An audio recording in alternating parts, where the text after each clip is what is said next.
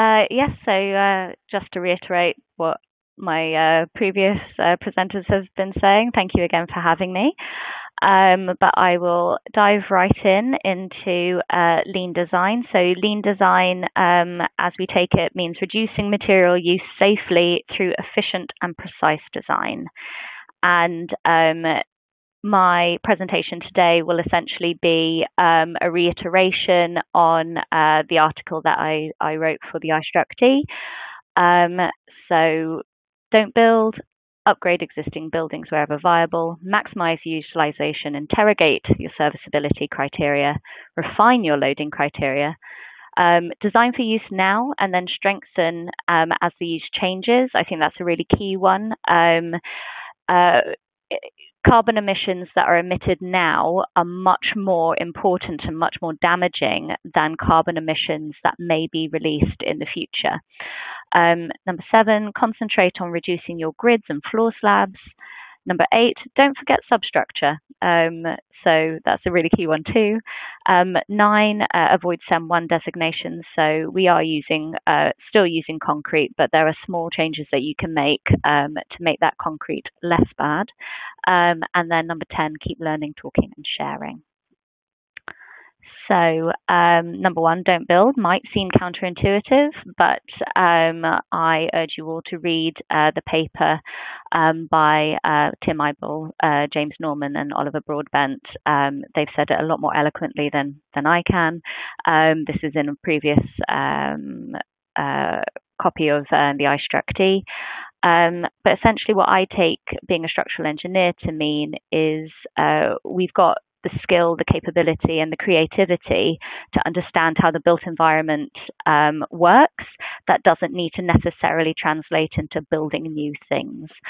Um, and it seems a lot more um, uh, important now, especially with um, COVID 19, has changed our relationship with the built environment. We're now, um, we don't necessarily need another school building when we're teaching our kids at home.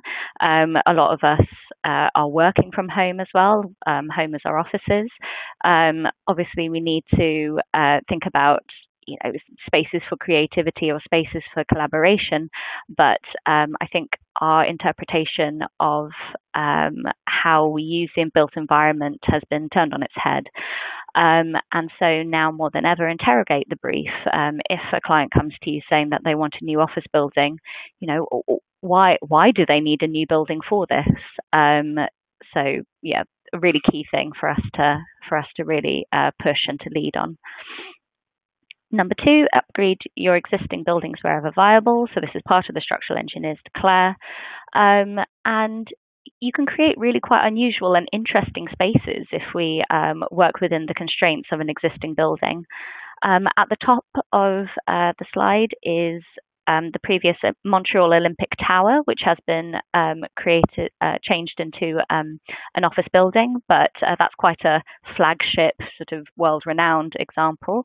Um, on the bottom is uh, a Buro Happold project that we worked on with Urban Splash, which was uh, the conversion of uh, the old Wills Tobacco headquarters building um, into one and two bedroom flats in Lakeshore in Bristol.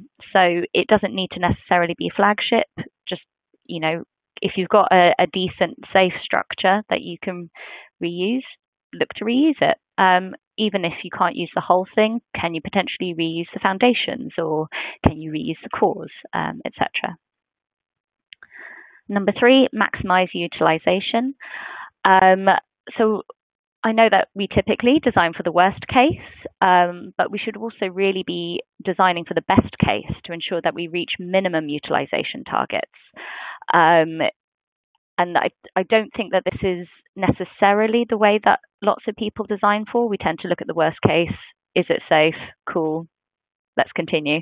Um, but I think we should really start to target the minimum utilization rates. And if you are target, um, if you are getting a, a, minimum utilization of less than 50%, uh, sort of stage two, stage three, or you know less than 75% at stage four, um, create a new beam type, a new column type, a new wall type, um, because that's how we can use material efficiently. Um, this does mean that we need to systematically build in loading refinement at each of our design stages. Um, but through communicating uh, that you need an extra, you know, a little bit of extra time here for material savings there, um, hopefully we can start to normalize um, giving ourselves more time to to do this um, and uh, translating the savings uh, through to the client and also, you know, the the sustainability uh, benefits of that as well. Number four, um, interrogating serviceability criteria. So we should be doing this anyway, but if serviceability criteria are your limiting criteria, it's even more important. Um, do we need to have that one mil deflection um, limit for our facades? Um, can we have uh, deflection heads for our internal partitions? Um, potentially doing a, a quite a basic comparison of um, you know looking at your one one de- mil deflection limit, how much extra steel work or concrete etc. do you need versus um, if you did have your deflection head, how much steel could you be saving, timber could you be saving here? Um, I think this is a, a really key thing because uh, because yeah, we we could be throwing a lot of extra material uh, into our buildings to satisfy something that we didn't interrogate fully. Number five, refining loading criteria.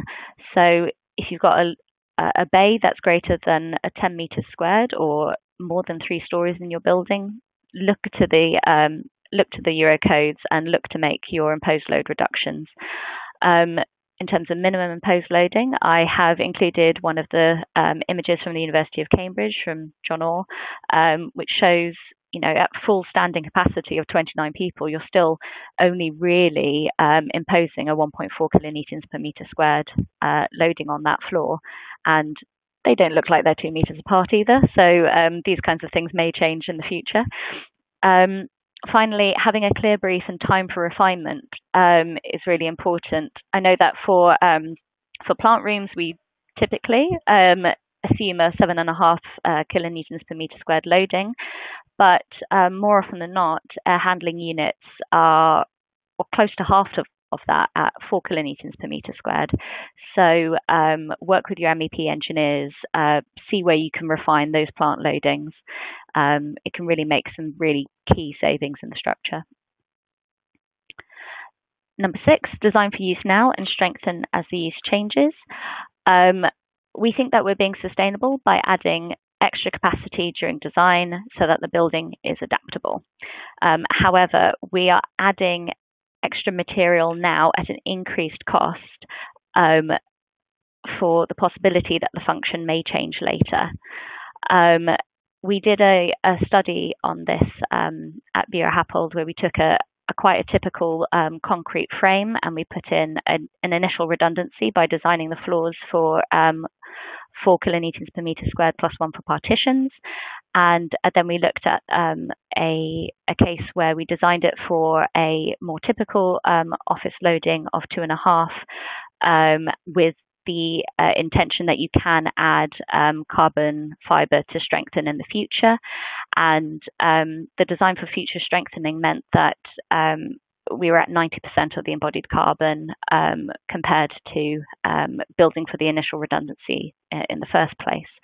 Um, and again, to reiterate, reducing carbon emissions now is much more important than reducing carbon emissions uh, in the future.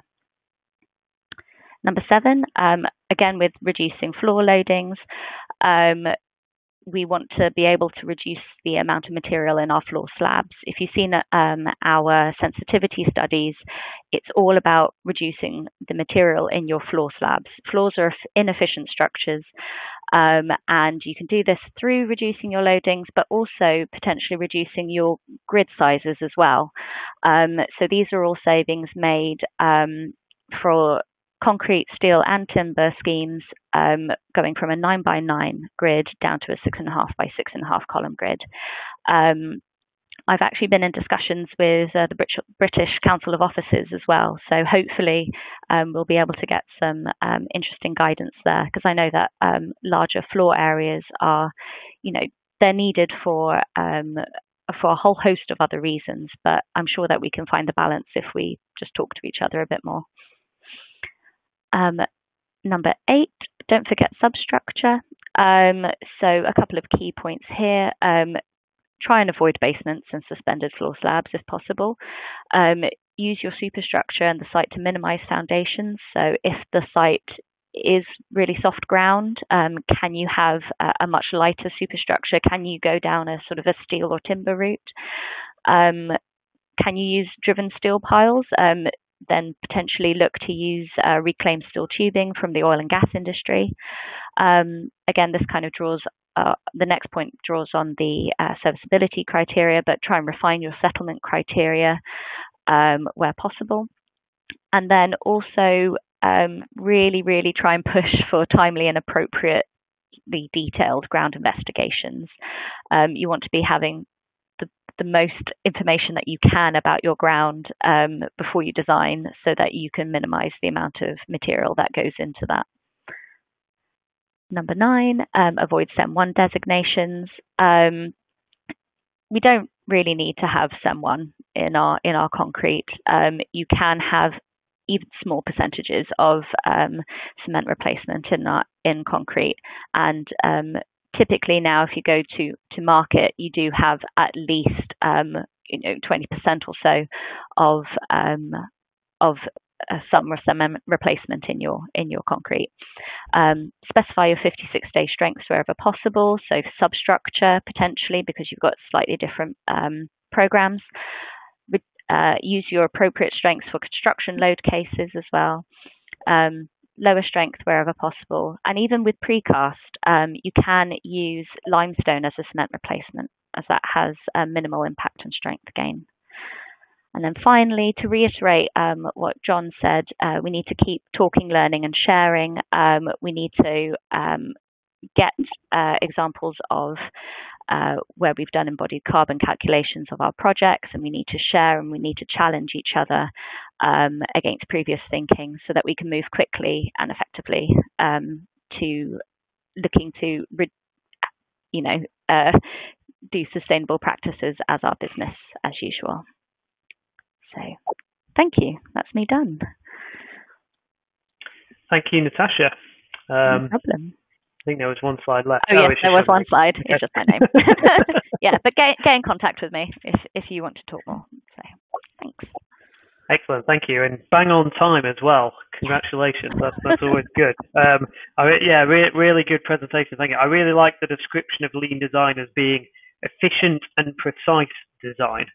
Um, there's a you know a fine art to getting it right, and of course a lot of what Natasha is saying is going to overlap a lot with I think some of the uh, content we'll hear about this afternoon regarding questioning the brief, because of course if we're talking about small things like deflection limits and big things such as do you need to replace that existing building, uh, that all ties in with questioning the brief, doesn't it? So uh, thank you very much and hello to everybody listening. Um, as Will says, we are based in Bath. We've grown to 25 strong over 20 years. And the only point of telling you that is to say that this is not just for the big practices to tackle. The majority of us work in practices of 10 or less. And the big strides in carbon reduction are not going to be made by a few iconic projects. They'll be made by all of us doing something small on each of our bread and butter projects so as a practice, we've been measuring our carbon footprints for many years, and we're really excited that as a profession, we're getting together to measure carbon in a more coherent way now. You'll see that most of the case studies I'll show you have carbon comparisons between different options using our own database.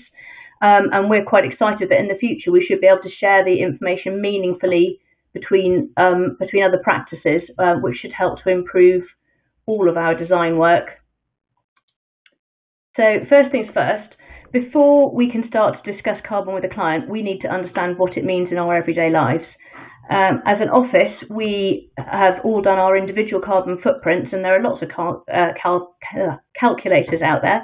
Um, the carbon footprint calculator is one of the simpler ones, and it's a really good starting point. Um, so it spits out a pie chart like the one you see on the right with the distribution of various different parts of your life. So this is one of my colleagues who has I'd say, a fairly normal life, um, lives in a three bed terraced house, has a child, has one holiday a year involving a plane journey within Europe. Um, and his profile comes to about seven tons of carbon a year.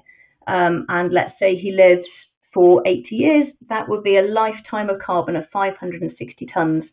And that starts to be useful when we start looking at building design. So onto some case studies. We are by no means saying these are exemplars, simply that we've been calculating carbon in our projects for a few years now. So we've built a library of really ordinary buildings and looked at how we can lean the design down in carbon terms. And it's led to some interesting lessons in how to talk about sustainability with clients and design teams and contractors. Um, and when I quote numbers in the case studies, we're not trying to be too clever. Um, I'm talking about that bit, the bit at the very beginning, the, the cradle to gate. Um, and of course, as John has said earlier, there is a lot of work to be done on the other sections, cradle to grave, cradle to cradle, certainly, but we have to start somewhere. And this is the bit that I'm interested in and I'm going to talk about today. So this is the tool we've developed in the practice over the last years, and obviously we now need to check it against the new IStructE guidance that John talked about earlier. Um, and what it is is a comparison of different materials against kilograms of carbon per metre squared of building. And this is for a, this becomes for a fairly standard framed building with perhaps a seven and a half metre grid. Could be an office block, could be a school generally reasonably regular with some long spans, some more heavily loaded areas and so on. And it's the culmination of pulling data from lots of different real projects. And obviously every building you do will have different parameters. But what this tells you is that if you want low carbon, start with timber, move through steel frame with timber, uh, with timber floors, and only go to concrete flat slab as your absolute last resort. Um, as the the design refines, we can refine the carbon count for a particular building form, but this is a really useful starting point. So onto some case studies. Um, so this is Eastleigh House. Um, it's a pretty standard 1960s, 1970s concrete framed office building, and our starting point with every project is to consider what we can reuse. It could be the entire building, it could be the frame, it could be just the foundations, but we always try and reuse as much of the original fabric in situ as we possibly can.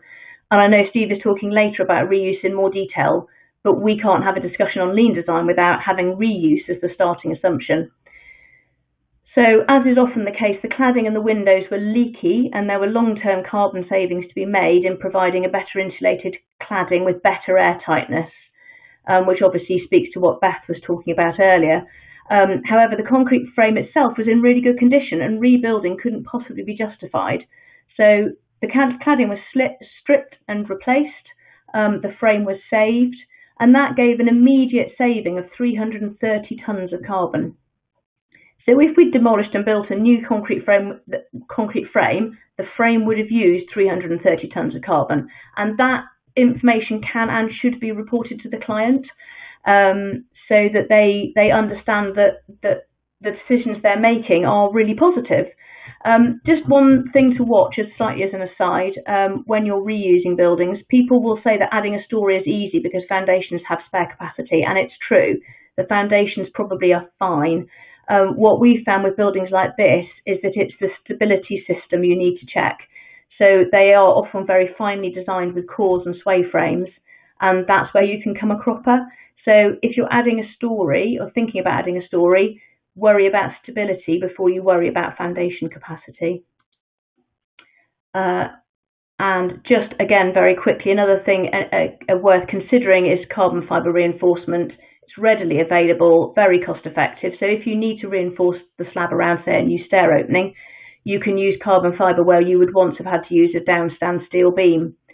Um, and and it's easy to get in, less of a risk in terms of site safety, much easier and neater to run services around. So it's a really useful tool in your armoury. So moving on to new build projects and moving one step up the carbon footprint ladder, this is a housing project called Lilac. It's in Leeds um, it's 20 new housing units built on a brownfield site. Um, in this case, sustainability was driven by the client body who wanted a community of houses which were as low impact as possible. So the houses are prefabricated timber panels insulated with straw and rendered in lime. Um, very, very airtight. So what's great about this project is that it's eminently repeatable. There's nothing particularly special about timber frame housing. All brownfield sites and and as I say, timber frame, like most off-site construction, achieves really good air tightness. So they don't have lots of gadgetry. They just need to be well built and well detailed. Um, I actually don't have the carbon numbers for this one because a lot of the numbers produced by other people included sequestration, which really muddies the waters. Um, but we do know it's pretty much as low as it's possible to be because of the materials used. Um, so taking one more step up that ladder again, this is a building we did for the Royal Opera House. It's their workshop and the place where they store all their costumes. Um, essentially, it needs to be a framed building with good light in some areas, and other areas had to have pretty tight environmental control. In this case, the client and architect both expected us to produce a low carbon footprint. However, the costumes are on roller racking, which obviously has very, very tight deflection limits. So for this, we looked at a steel frame with either a precast concrete floor or a CLT floor. And here are the comparative figures for this building. You can see that you get a saving of 60 kilonewtons of carbon per metre squared going from precast concrete floor to CLT floor. So it's a 25% reduction in, in embodied carbon by going for timber. Um, the superstructure of the building is 25 metres long, it's 50 metres wide, it's over two stories. So if we'd use precast planks, we'd be up at 625 tonnes of carbon. Um, with timber, we are at 475 tonnes of carbon. And putting that in personal terms, which I always think is useful and comes back to the carbon footprint thing at the beginning, if a lifetime of carbon emissions for a person is 560 tonnes, the building using precast planks is more carbon than you can use in a lifetime. Even with timber floors, it's still 85% of a lifetime. So obviously it'd be better to build nothing or to reuse a building, but it gives you a flavour of how what we do in our personal lives pales into insignificance compared to what we can achieve in our in our professional lives. And obviously, again, this is the thing we should be you know, repeating back to our clients. And clearly, I'm not absolutely not saying you shouldn't do things in your personal life to reduce your footprint. But as Will said earlier, designing, uh, designing buildings well is our bigger responsibility. Just a quick sideways move to foundations. Generally, we find the best savings are made above ground because so much of foundation design is dictated by ground conditions. And obviously, a weight saving above ground structure will also mean the foundation can be lighter. But there are simple things we can do with foundations, fundamentally making them no stronger than they need to be. So if you're doing strip foundations onto clay, there's no reason why the concrete you use should be up at C40 strength. So simply by specifying C20, you can make a massive saving. So this is a random, I have to say, quite ugly building um, on which we did a comparison of foundation mixes Going from C40 down to C20 saved 30% in the carbon footprint. It's such a simple move in your specification and it has such a profound effect. So if we step up that ladder again and we're at the evil concrete end of the, of the project spectrum, and we all find ourselves here sometimes, there are other things you can do um, there are still things you can do, even if you have a client who's determined to use concrete, or indeed a building which merits such a high carbon material. So this is a building we are looking at in London, which for various reasons ended up as concrete, and we looked at what we could do to limit its impact. So we looked both at changing the mix specification and also changing the type of slab that we used. Without changing anything that is in the design, but specifying 50% cement replacement, we found we could reduce the carbon footprint by 23%. If we went to a ribbed slab as well, we reduced the carbon by 40%. And again, if we make it personal, there are 3.3 Western style lifetimes in the flat slab version of this building. By changing the spec but still using uh, flat slab, we can reduce that to two lifetimes. Sorry, if, but still using concrete, we can reduce that to two lifetimes. So that's the rib slab. Um, if we could have done it in, say, steel frame and CLT, we might get this down to 720 tonnes of carbon, so 1.3 lifetimes. So between the concrete flat slab version and the steel CLT hybrid version, we reduce the carbon by 60%.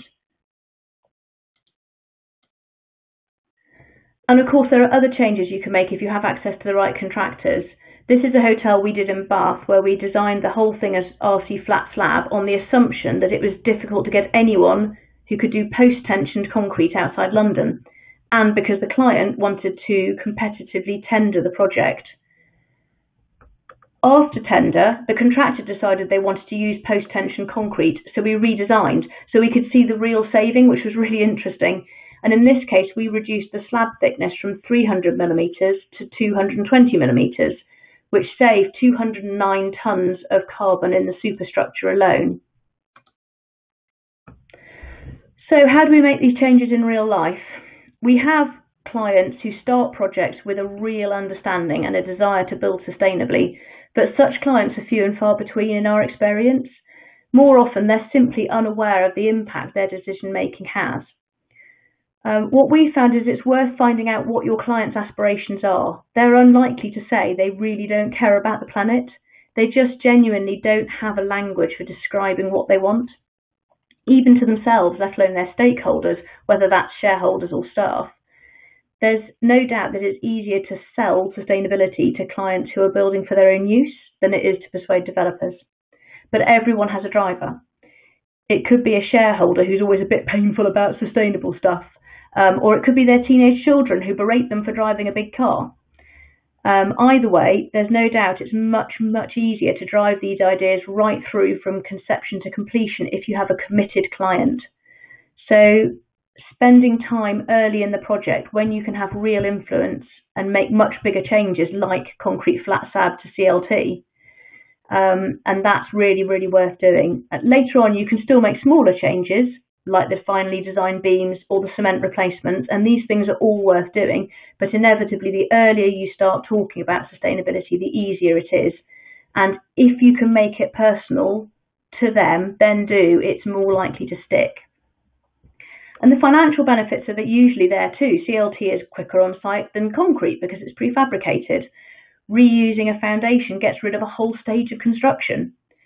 Um, one of the mantras that we use with clients is that thinking time is cheap and building time is expensive.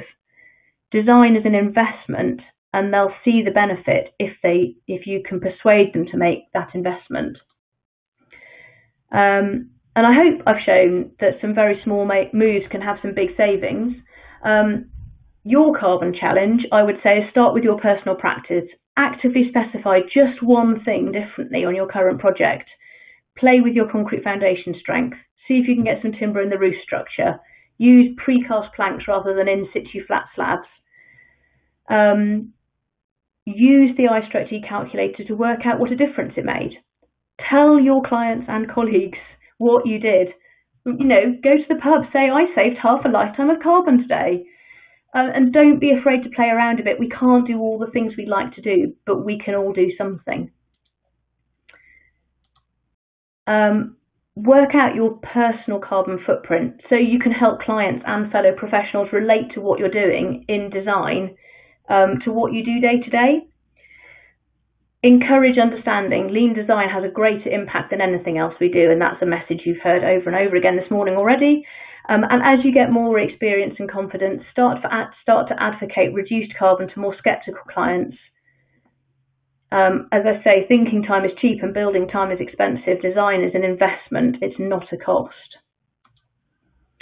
Uh, and in the words of the IStructE Carbon Guide, um, the, the, uh, the embodied carbon guide is do not let uncertainty deter you, just give it a go. Thank you very much. Fantastic. Thank you, Margaret. Yeah, do not let uncertainty deter you. Give it a go. like that. I might get that on a t-shirt. Um, right, so we've got we've got a sort of nine or ten minutes. Um, we've had loads of questions coming through. Um, so I apologise in advance. There's no chance we're going to get through all of them. Some really, really good questions in amongst all of that.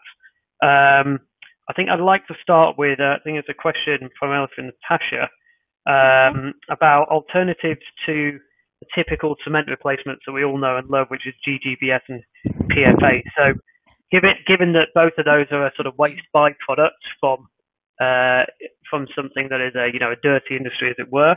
Yep. Um, what what else can we use when when they run out or when we can't get hold of enough of them? Are there other alternatives of what I can replace cement with in my concrete mix? So um, there are already, uh, well, there have been alternatives um, being discussed for quite a few years. Unfortunately, it's because um, GGBS and PFA are part of large scale industries that they've been more readily available and had the supply chains um, in place.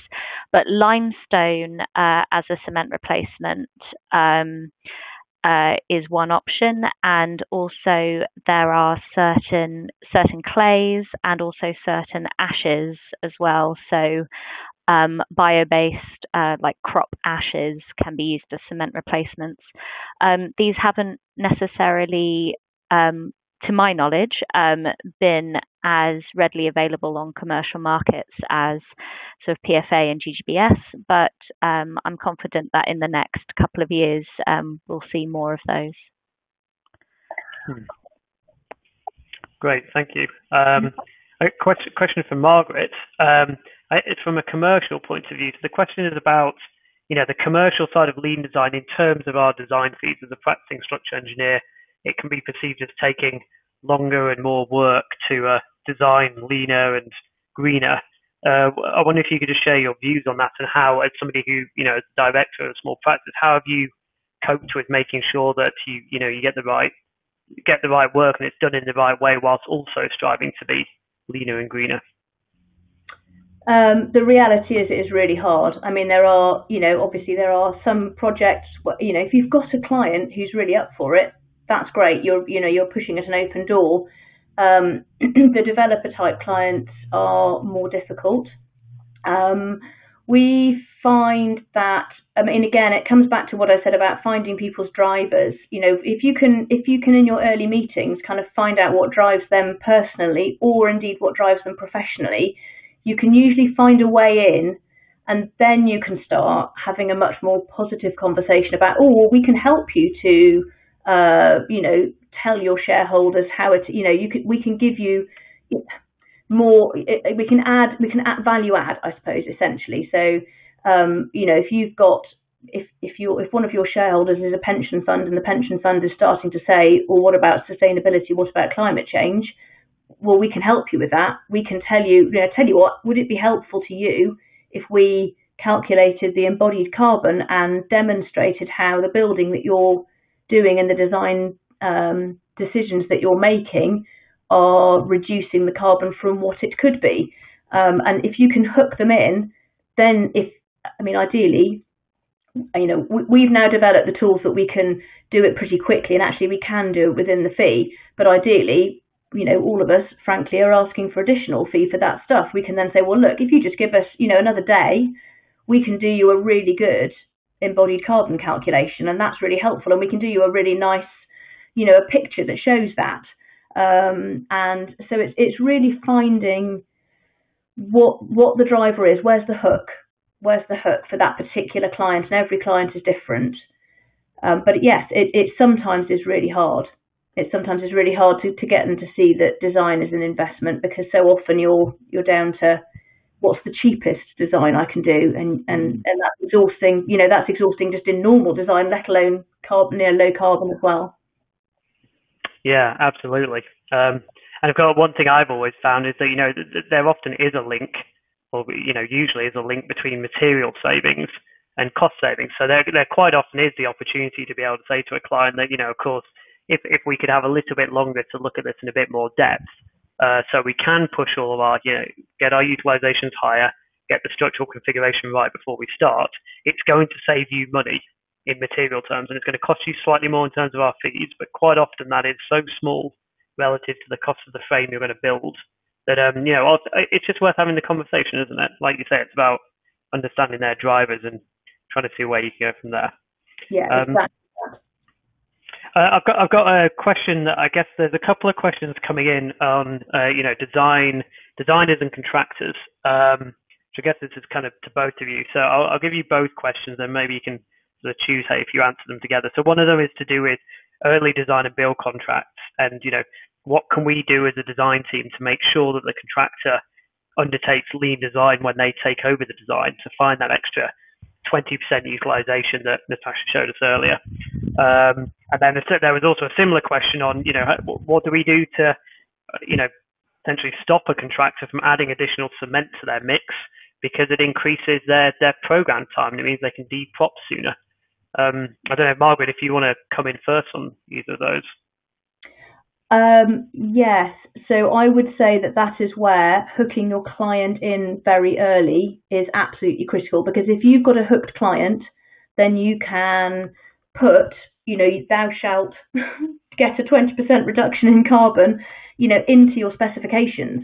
You can, you know, but you, you absolutely, it's very, very hard to do that in the absence of an engaged client um, to, to, if you've got a client behind you who's saying, yes, this is something that we want, that we can see will add value to our project, then you can start to put it in to your specifications and into the requirements. And you can, you know, you can ask questions about it at, at the tender stage and all of those sorts of things. Um, but very hard if you haven't got a, a, a, a, somebody on the client side who's really pushing it by then. Um, yeah. Sorry, what was the second question? Oh, adding cement 20% um, yeah, again, really hard. Again, I think it's about it's it's a lot of this is about hearts and minds. It's about nudging, and it's about saying, you know, this isn't just. I understand that it would be nice if you could save 30 days on your program, but actually, is it would it really be nice because your client has already told you that they mind more about the, the planet than they do about programs. So why are you trying to do it in 20 days less? Why not? You know, it's your kids as well, not just ours. Hmm. You know, let's work on this together. It's it's so much of it is is teamwork, hearts and minds, and getting everybody on the same page. Absolutely, excellent. Thank you, Natasha. Do you have anything to add to either of those? You must have had to have dealt with the situation before, where the, the concrete mix comes back and it's entirely different yeah. to what you were hoping for. So um, definitely one with the uh, with the contractors um, changing the mix um, to save program. Uh, we managed to, uh, on a quite a small project, um, just have a conversation with what kinds of um, activities they were going to do in the next three days, um, then in the next sort of 14 days. Um, and uh, we determined that even though, um, yes, it wasn't the 28 days strength that the uh, concrete was achieving, uh, in the in the pre-agreed mixed, it was sufficient for them and their construction activities. So we didn't do that knee-jerk reaction of saying, "Oh yeah, just use CEM one." It was no, actually, what what are you going to be putting on this slab? Um, okay, so that actually works with this uh, strength gain that you get with our pre-agreed mix um, at three days. So yeah, it was just opening up that conversation, and it was it was solved in maybe two emails and a phone conversation. So excellent, and everyone's everyone's happy.